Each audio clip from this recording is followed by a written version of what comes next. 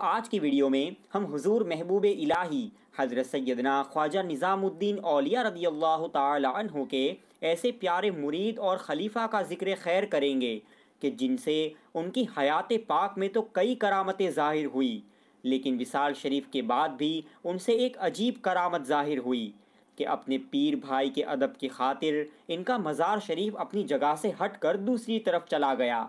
ऐसा क्यों हुआ इसके पीछे क्या वजह थी, इसको जानने के लिए आप इस वीडियो को आखिर तक ज़रूर देखें। और अगर आपने अभी तक हमारा चैनल सब्सक्राइब न किया हो तो सब्सक्राइब ज़रूर कर लें। आइए, हम उस आस्ताना शरीफ की जियारत करते हैं।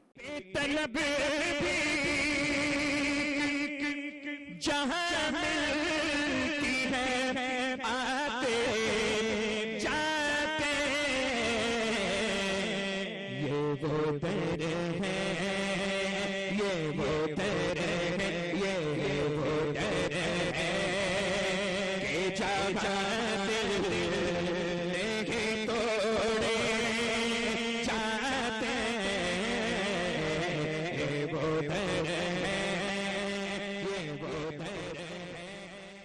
दोस्तों, आपका मुबारक नाम हज़रत सैदना ख्वाजा मलिक बहाउद्दीन ताला हैं।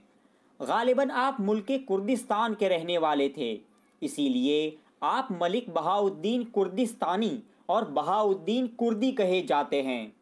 इब्तदाई ज़माने में जब आप मुरीद भी न हुए थे तो अपनी ज़िंदगी को बड़े ऐशो आराम से गुजारते थे। आप बहुत ही मालदार थे और एक ऊँचे अहदे पर फाइज थे। इसीलिए आप बहुत ही ज़्यादा खर्च किया करते थे। अल्लाह तबारक व ताली का आप पर ख़ास फजलो करम हुआ कि आप हुजूर सुल्तानमशाइख महबूब इलाही हज़रत सैदना सरकार ख्वाजा निज़ामुद्दीन औलिया रदी अल्लाह तहों की खिदमत बाबरकत में हाजिर हुए और उनसे मुरीद हो गए। हाजिर हुए और उनसे मुरीद हो गए। जिस दिन आप हुजूर महबूब इलाही के मुरीदों में शामिल हुए, उस दिन से आपकी ज़िंदगी में एक ऐसा इनकलाब आया कि आपने अपना अहदा तर्क कर दिया और अपनी सारी दौलत को राह खुदा में लुटा दी। सब कुछ छोड़कर पीर व मुर्शिद की खिदमत में रहने लगे। सरकार महबूब इलाही की तवज्जो और सहबत ने आपको क्या से क्या बना दिया? हुजूर महबूब इलाही रदी अल्लाह तहों की सहबत में रहकर आप ज़्यादा से ज़्यादा अपना वक्त इबादत व रियाजत में गुजारते, दुनियादार लोगों से मुलाकात करने से परहेज़ करते। मुर्शिद की सहबत को ही अपने लिए सलामत जानकर हमेशा उनकी खिदमत में रहते। और उनके फैज़ बरक़ात से माला माल होते रहते। हुजूर महबूब इलाही रदी अल्लाह तहों ने अपने हज़ारों खुलफा को साहिब विलायत और आली मकाम अता फरमाकर हिंदुस्तान के कोने कोने में खिदमत दीन के लिए भेजा। एक दिन हुजूर महबूब इलाही ने आपको तलब किया और आपको सिलसिले आलिया चिश्तिया बहिश्तिया की अजीम खिलाफत अता माई और आपको गुजरात के तारीख़ी शहर पट्टन रवाना किया। पीर मुर्शिद के हुक्म पर आप दहली से सफ़र करते हुए गुजरात के शहर पट्टन तशरीफ़ लाए और यहाँ आकर ताजदार विलायत, हज़रत सैदना मखदूम ख्वाजा हिसामुद्दीन चिश्ती मुल्तानी रदी अल्लाह तहों की खिदमत में हाजिर हुए। ये हज़रत ख्वाजा हिसामुद्दीन मुल्तानी रदी अल्लाह तहों भी हुजूर महबूब इलाही रदी अल्लाह तहों के ही मुरीद और खलीफा हैं। आपको। हुजूर महबूब इलाही की बारगाह में बहुत ज़्यादा कुर्बत और मकबूलियत हासिल थी। आप हुजूर महबूब इलाही के खासुल ख़ास खुलफा में से एक है। हुजूर महबूब इलाही ने आपको सल्तनत गुजरात का बादशाह विलायत बनाकर यहाँ भेजा था। हज़रत ख्वाजा मलिक बहाउद्दीन कुर्द रहमत पट्टन में तशरीफ़ लाए और इन्हीं की खिदमत में रहने लगे।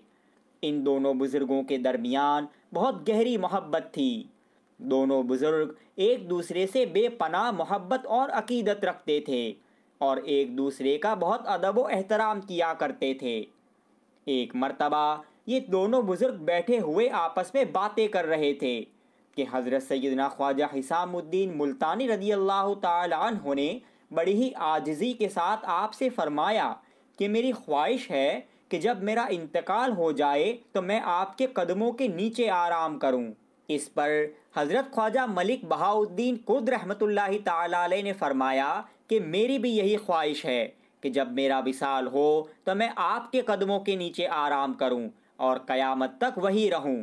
आप मेरे कदमों के नीचे आराम करें, ये हरगिज़ नहीं हो सकता। आप शाह विलायत है। आप हुजूर सुल्तानुल मशाइक के खासुल ख़ास खुलफा में से एक है और अहले दिल, अहले नज़र वली ये कामिल है। इसी तरह हज़रत ख्वाजा हिसामुद्दीन मुल्तानी रहमा ने भी हज़रत ख्वाजा बहाउद्दीन कुर्द की तारीफ़ की और अपनी आजजी का इजहार करना शुरू किया। दोनों बुज़ुर्गों के दरमियान ये आजिज़ाना गुफ्तगु बड़ी लंबी हो गई। बिल आखिर दोनों बुज़ुर्गों ने इस बात पर इत्तेफाक किया कि जिसका विशाल पहले होगा तो दूसरे की कब्र उसके कदमों में, यानी पाइती की तरफ़ होगी। यानी, अगर हज़रत ख्वाजा हिसामुद्दीन पहले विसाल फरमाते हैं तो उनके कदमों में हज़रत ख्वाजा बहाउद्दीन की कब्र शरीफ होगी। और अगर हज़रत ख्वाजा बहाउद्दीन पहले विशाल फरमाते हैं तो उनके कदमों में हज़रत ख्वाजा हिसामुद्दीन की कब्र शरीफ होगी। बहरहाल, बात तय हो गई। अब हुआ यूँ कि हज़रत सैदना मलिक बहाउद्दीन कुर्द रहमतुल्लाहि ताला का विसाल शरीफ पहले हो गया। और कुछ मुद्दत के बाद हज़रत ख्वाजा हिसामुद्दीन मुल्तानी रदी अल्लाह तहो का विसाल हुआ, जो लोग इन दोनों बुज़ुर्गों के बीच में हुई गुफ्तगु और वसीयत को जानते थे, उन्होंने उसी पर अमल किया। चूँकि हज़रत ख्वाजा बहाउद्दीन का विसाल पहले हो गया था तो हज़रत ख्वाजा हिसामुद्दीन को उनके कदमों की तरफ़, यानी उनकी पाइती में दफन किया। लोग दफन करके चले गए, और जब दूसरे रोज़ सुबह मज़ार पाक पर आए तो उनकी हैरत की इंतहा न रही कि हज़रत बहाउद्दीन रहमतुल्लाहि ताला का मज़ार जो ऊपर की जानब था, वो अपनी जगह से गायब हो गया। और हज़रत ख्वाजा हिसामुद्दीन रहमतुल्लाहि ताला की पाइती की तरफ़ आ गया। आप हज़रत मखदूम हिसामुद्दीन मुल्तानी रदी अल्लाह तहों का इतना अदब करते थे कि विसाल शरीफ के बाद भी उसी अदब को मलहूज रखा। हज़रत सैदना ख्वाजा मलिक बहाउद्दीन कुर्दी रहमतुल्लाहि ताला का विसाल पाक दस सफ़रुलमुज़फ़र को हुआ। आपको शहीद मलिक बहाउद्दीन कुर्दिस्तानी और उर्फ़ में अब्दुल्ला शहीद भी कहते हैं। आपको अब्दुल्ला शहीद कहने की वजह और आपकी शहादत का वाक़ किताबों में न मिल सका।